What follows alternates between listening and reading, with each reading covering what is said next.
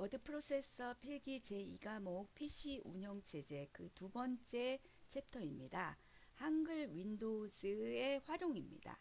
자, 이 두 번째 챕터가 우리 그 PC 운영 체제에서 가장 어, 출제 비율이 높은 장입니다. 그래서 이거는 이제 두 강으로 나누어서 강의를 하도록 하겠습니다.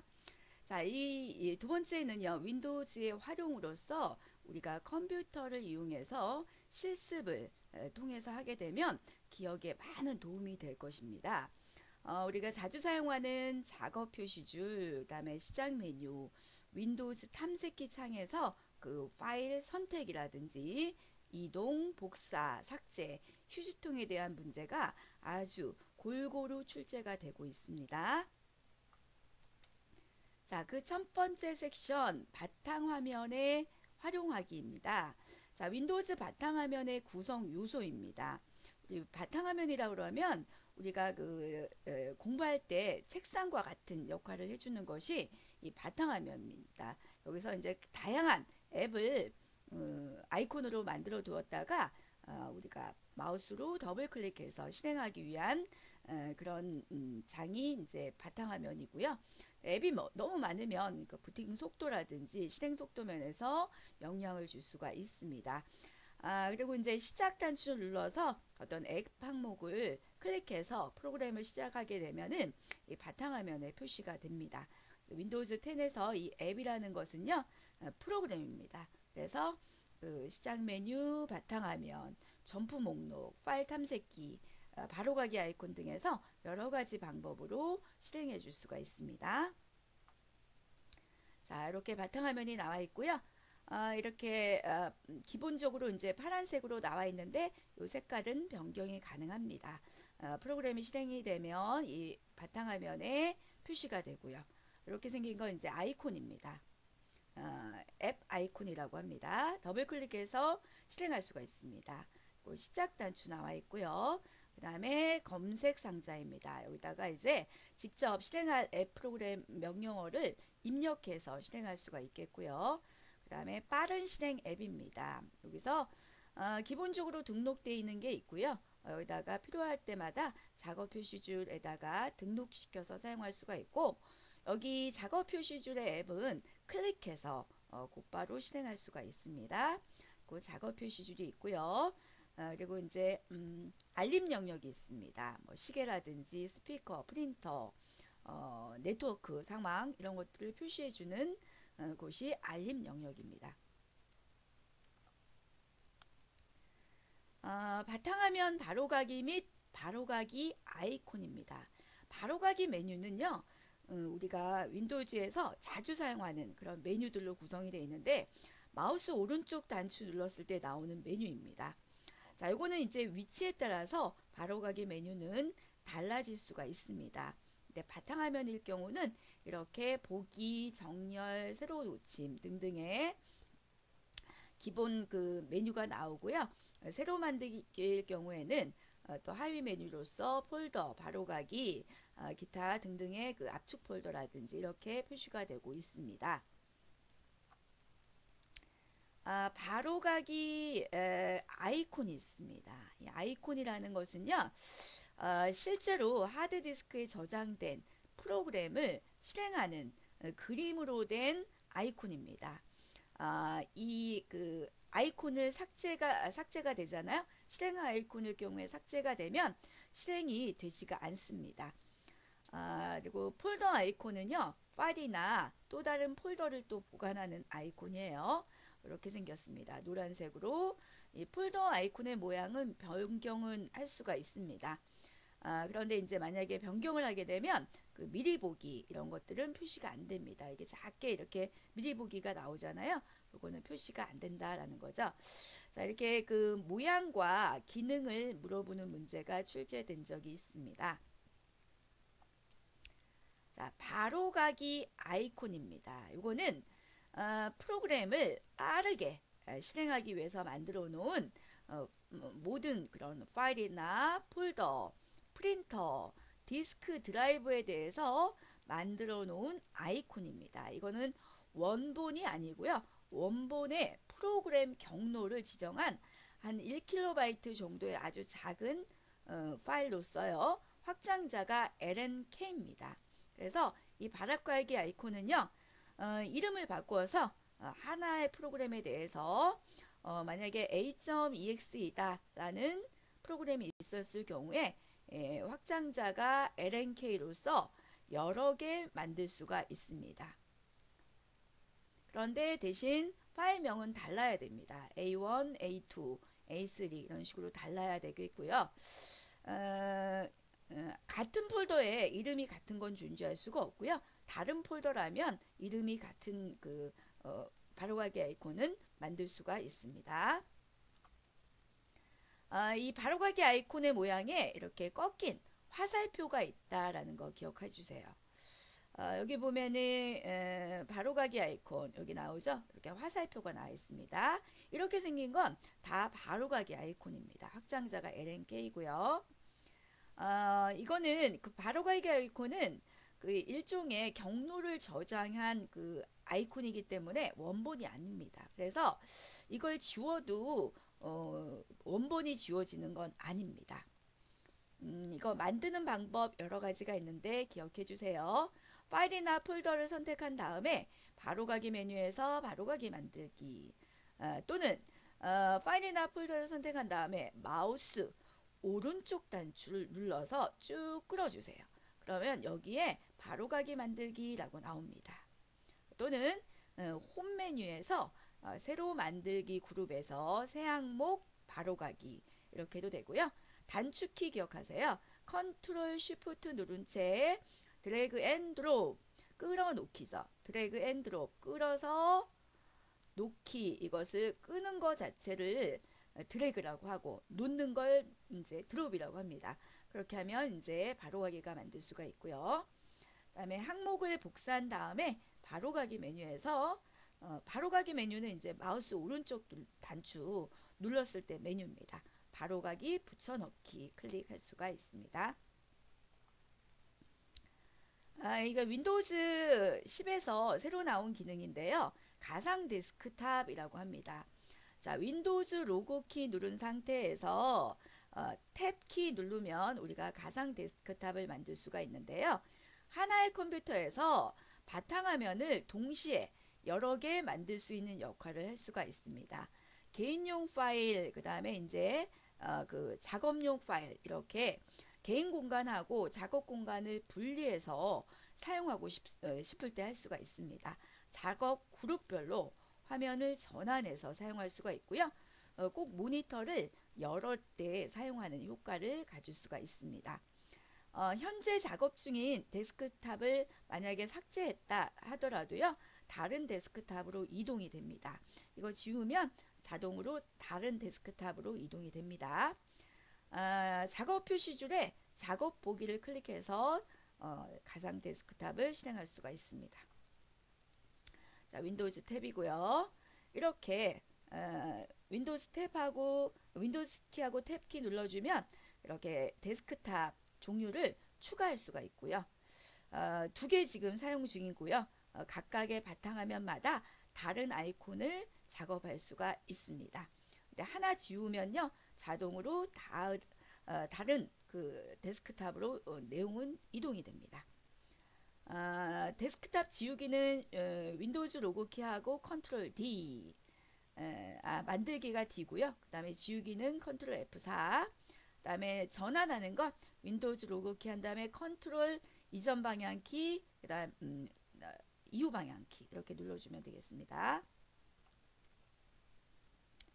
자 다음은 시작 메뉴입니다. 우리가 시작 단추 눌러서 나오는 메뉴인데요.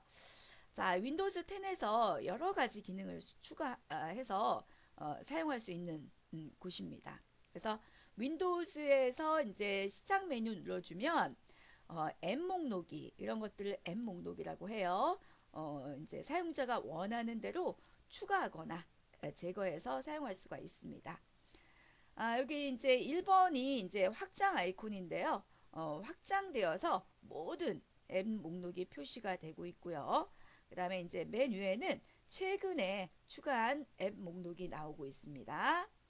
아, 그리고 이제 그 밑에는 이제 추가된 목록이 에, 에, 가나다순, 어, 그 다음에 특수 문자가 제일 먼저 오고요. 그 다음에 ABC, 예, 영어가 먼저 옵니다. 그리고 이제 가나다 순으로 나열이 되고 있습니다.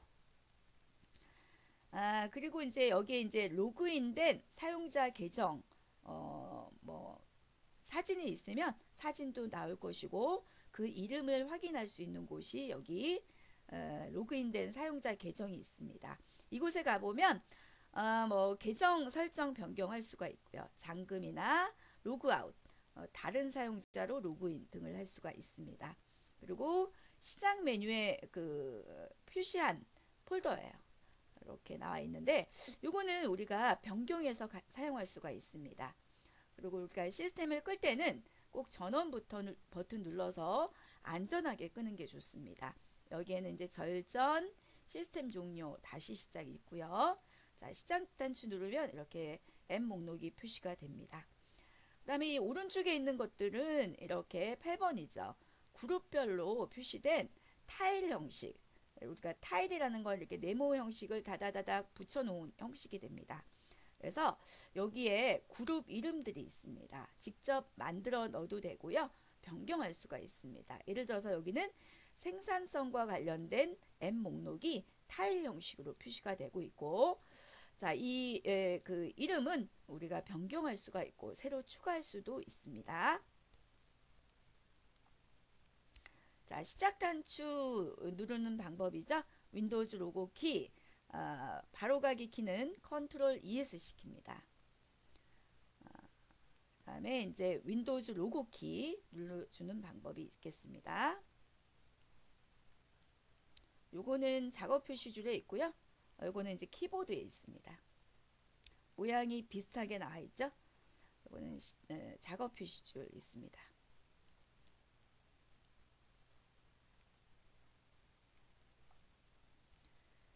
자, 시작 메뉴에 각종 앱을 고정을 시키거나 제거할 수가 있습니다. 그 최근에 이렇게 실행한 음, 그 어, 추가한 앱 목록 어, 이런 것들이 표시가 되는데 이것이 만약에 너무너무 자주 사용한다 라고 한다면 시작 메뉴에 어, 시작 단추 눌렀을 때 이렇게 에, 앱 목록에 그 아예 고정을 시켜줄 수가 있고요.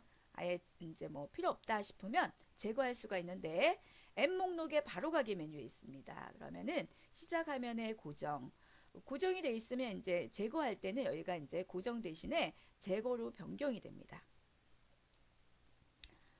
아, 이렇게 고정하거나 제거하거나 있고요. 아이콘의 크기도 어, 작게, 보통, 넓게, 크게 이렇게 크기 조정을 가능하고요. 어, 작업 표시줄도 마찬가지입니다. 작업 표시줄에 고정이 있고요. 어, 제거가 있습니다. 아, 그리고 이제 뭐 어, 파일의 위치 이런 거 열기 해갖고요. 어, 곧바로 파일 탐색기 열어서 파일을 복사하거나 이동하거나 이름 바꾸기 등의 관리를 할 수가 있습니다. 어, 라이브 타일이라고 있습니다. 여기 이제 날씨나 뭐 뉴스, 현재 실시간으로요. 우리가 뭐 일정, 메일 앱 이런 것들을 표시해 주는 기능을 라이브 타일이라고 합니다. 이것도 시작 메뉴에 있습니다. 그래서 에, 라이브 타일은요. 그 어, 타일 형식 날짜 아이콘의 바로가기 메뉴에서 자세히 눌러서 어, 타일을 끄기 하거나 켜기를 선택할 수가 있습니다. 그 다음에 이제 시작 메뉴에 새 그룹 지정할 수가 있고요. 이름도 바꿀 수가 있습니다. 아, 시작 메뉴에 여기 보면 이런 걸 타일 형식이라고 하는데 아, 여기서 이제 그룹 이름 지정해 갖고요. 새로운 그룹을 어, 자주 사용하는 것들을 어, 시작 메뉴에 고정을 시킨 다음에 여기다가 이름을 변경할 수가 있습니다. 아, 그리고 이제 이 시작 메뉴를 설정하는 방법이요. 아, 시작 단추에 바로가기 메뉴에 보면은 설정이 있습니다. 거기에 개인 설정, 시작을 클릭하거나 아니면 작업 표시줄의 바로가기 메뉴에서 작업 표시줄 설정 여기에서 시작 메뉴 이것들을 설정할 수가 있는데요. 이 항목을 그 각종 항목을 설정을 합니다. 여기 보시면은 어, 개인 설정 항목이 나오죠. 거기에서 이제 시작입니다. 시작 메뉴가 시작 항목이 있고요. 여기는 이제 뭐 시작 화면에 뭐 타일을 표시하겠다, 앱 목록을 표시하겠다, 뭐 최근에 추가한 앱을 표시하겠다. 다 끔과 어, 켬으로 선택을 할 수가 있습니다. 끔을 하거나 켬을 하거나 둘 중에 하나 드래그 해갖고요. 어, 변경 가능합니다. 요거는 지금 끔이 되어 있죠. 요거는 켬이 되어 있습니다. 이것을 드래그해서 할 수가 있고요. 그 다음에 이제 그 어, 파일 탐색기에 보면은 이렇게 시작 메뉴에 시작 메뉴에 표시할 폴더 어, 우리가 시작 단추 딱 누르면 어, 시작 메뉴 어, 여기가 이제 시작 단추가 딱 있어요. 여기에 이제 표시할 폴더 어, 이것들도 선택을 할 수가 있습니다. 지금은 여기가 설정, 문서, 사진 되어 있는데요. 이것을 옆으로 이동해서 켬으로 하게 되면 더 많은 그 표시 폴더를 여기서 선택할 수가 있습니다. 그래서 뭐 시작 화면에 더 많은 타일 표시, 앱 목록 표시, 최근에 추가한 앱 표시, 그 다음에 가장 많이 사용하는 앱 표시, 때때로 시작 메뉴에 제한 표시, 어, 전체 시작 화면이고요. 어, 그 다음에 시작 메뉴에 점프 목록이라든지 어, 작업 표시줄 또는 파일 탐색기, 즐겨찾기에서 최근에 연 항목 어, 이것을 끔과 켬으로 선택할 수가 있고요. 그리고 이제 시작 메뉴에 표시할 폴더들 이렇게 끔과 켬으로 선택할 수가 있습니다. 아, 그 다음에 이제 최근 항목이 있습니다. 최근에 사용한 항목인데요. 이것을 이제 클릭해서 곧바로 어, 실행한다 그래서 점프 목록이라고 하는데요. 아, 이 앱망, 앱 목록의 바로가기 메뉴에서 어, 최근의 항목을 선, 어, 클릭하고요. 이 목록에 고정 이렇게 눌러주면 즐겨찾기에 등록시킬 수가 있고요. 에, 이 최근의 항목의 바로가기 메뉴에서 이, 이 목록에 제거 누르면 에, 이제 목록에선 제거가 됩니다. 최근 항목이 쭉 나와 있는데 제거는 되지만 이거는 어, 최근 항목에서 제거가 되는 것이지 원본이 지워지는 건 아닙니다. 그래서 최대 한 12개에서 13개 정도 표시할 수가 있고요. 더 많이 표시하고 싶다라고 한다면 우리가 그 시스템에 어, 환경을 설정할 수 있는 그 레지스트리라는 곳에서 그 개수를 변경할 수가 있습니다. 아, 그리고 이제 시작 메뉴에 보면 실행이라는 항목이 있어요. 자, 이거는 우리가 명령어들을 그 M 명령어들을 직접 입력을 합니다.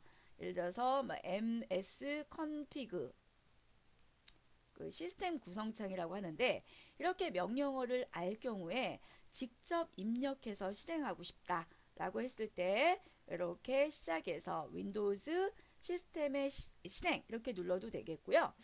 이건 이제 메뉴를 우리가 시작 단추 눌러서 선택해야 되니까 시작 단추에서 마우스 오른쪽 단추 눌러서 나오는 바로가기 메뉴에서 실행을 하는 게 더 빠를 겁니다. 이럴 경우에는 명령어를 알아야 되겠습니다. 그래서 이렇게 입력하고 엔터 또는 확인 버튼 눌러주면 어, 이렇게 그 이거는 이제 시스템 구성창이라고 하는데 이런 화면으로 곧바로 실행이 됩니다.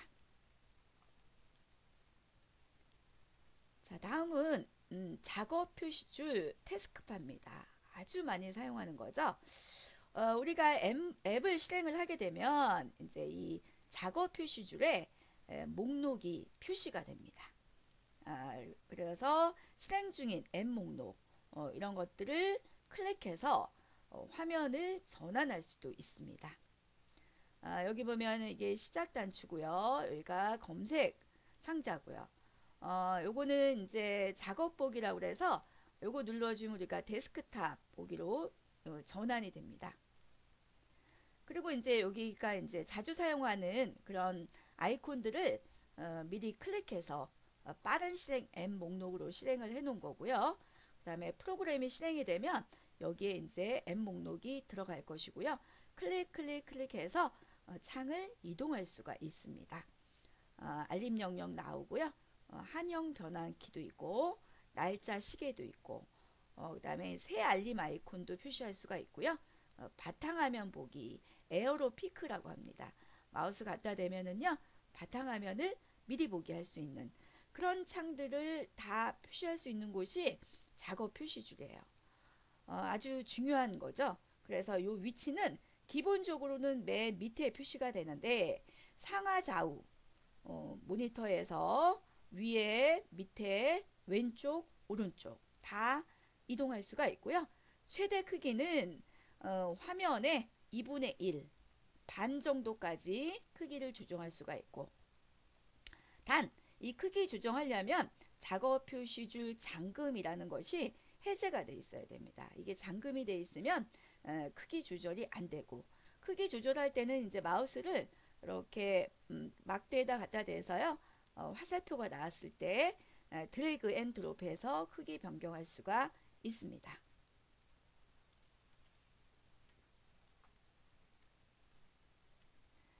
자, taskbar의 설정입니다.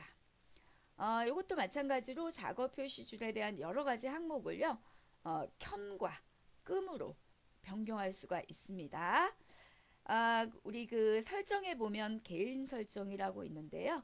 여기에 작업 표시줄이 있습니다. 여기서 끔과 켬으로 우리가 어, 이 작업 표시줄에 대한 설정을 변경할 수가 있는데 여러분들이 이걸 공부할 때는 어, 일단 이 그 작업 표시줄을 설정할 수 있는 방법 요거 기억을 해주시고요. 여기에서 할 수 있는 일 어떤 일들이 있는지 이런 것들이 출제가 되고 있으니까 기억을 해주셔야 됩니다. 어, 잠금을 할 수가 있습니다. 이 잠금을 하게 되면 어, 크기나 어, 이동, 위치가 우리가 상하 좌우 다 된다고 했고요. 크기는 2분의 1까지 화면의 2분의 1까지 된다고 했는데 잠금이 설정이 되어 있으면 이거 다 할 수가 없습니다. 그리고 데스크탑 모드에서 작업 표시줄 자동 숨기기 할 수 있습니다. 자동 숨기기 어, 이게 켬으로 돼 있으면 이제 어, 숨기기가 되어 있는 거예요. 그래서 마우스를 이제 내가 작업 표시줄 있는 위치가 밑에 있다면 마우스 갖다 대면 보여주고요. 어, 밖으로 빼면 안 보이는 기능입니다. 어, 그 다음에 태블릿 모드에서 작업 표시줄 자동으로 숨기기 이게 이제 켬이면 어, 우리가 이제 태블릿 모드에서 숨기기가 되어 있다라는 뜻이고요. 어, 작업 아, 작은 음, 작업 표시줄 단추 사용 에, 아이콘들을 아주 작게 표시할 수가 있습니다. 켬이면 작게 되고요. 끔이면 크게 됩니다. 아, 그 다음에 이제 요거는 작업 표시줄 끝에다가 우리가 미리 보기를 어, 이렇게 오른쪽 끝에 되면은 에어로 피크 기능이라고 해서 어, 작업 표시줄 끝에서 바탕화면 미리 보기를 실행할 것이냐 안 할 것이냐 켬이면 실행을 하겠다라는 뜻이에요. 아, 그리고 이제 시작 단추를 마우스 오른쪽 눌렀을 때 또는 윈도우 키하고 X 누르면 표시되는 그 명령 프롬프트를 어, 파워 어, Windows PowerShell로 바꿀 수가 있습니다. 이게 켬으로 돼 있잖아요. 그러면 Windows PowerShell이라는 메뉴로 되고요. 끔으로 돼 있으면 명령 프롬프트로 표시가 됩니다.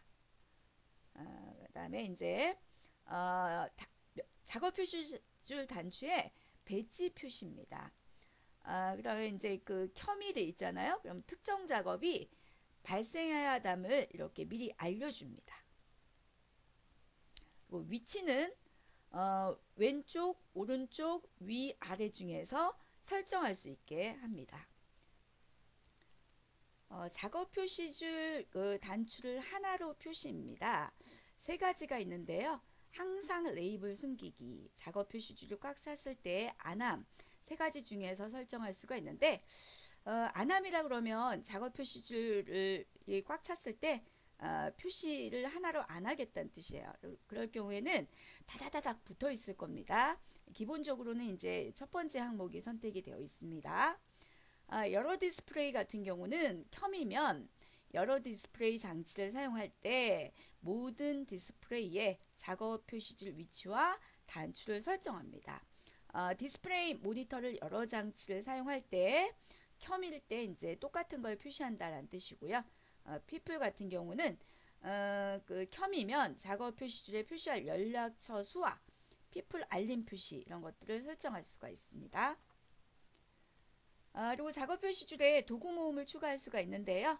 어, 바로가기 메뉴에 보면 도구 모음이 있습니다. 주소나 링크 바탕화면 새 도구 모음 이용해서 자주 사용하는 폴더를 작업 표시줄에 추가합니다. 작업 표시줄에 표시할 아이콘과 시스템 아이콘 켜기 끄기입니다. 자, 이것도요, 설정해 보면 개인 설정이 있고요. 작업 표시줄 창에 알림 영역이라고 있습니다.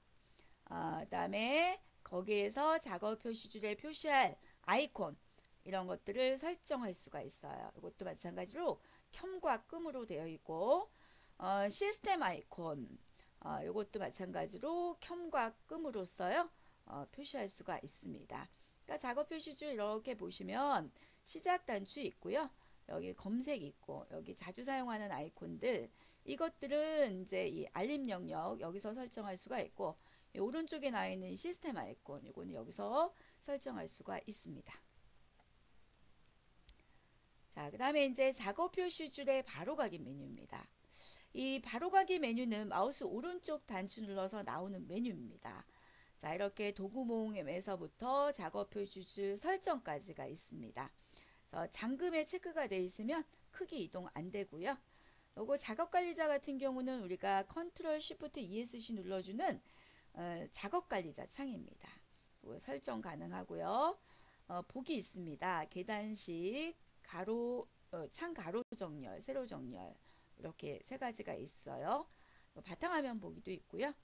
어, 그리고 이제 뭐 검색, 어, 단추 표시, People 표시, 어, 그다음에 Windows 뭐 잉크 이런 건 어, 메뉴에 따라서 표시될 수도 있고 안 될 수도 있습니다. 설정이 되어 있는 시스템 상황에 따라서 달라질 수가 있고요. 어, 요 밑에 나오는 것들은 음, 거의 똑같습니다. 그러니까 배열은 계단식과 가로와 세로가 있다. 기억해 주시기 바랍니다.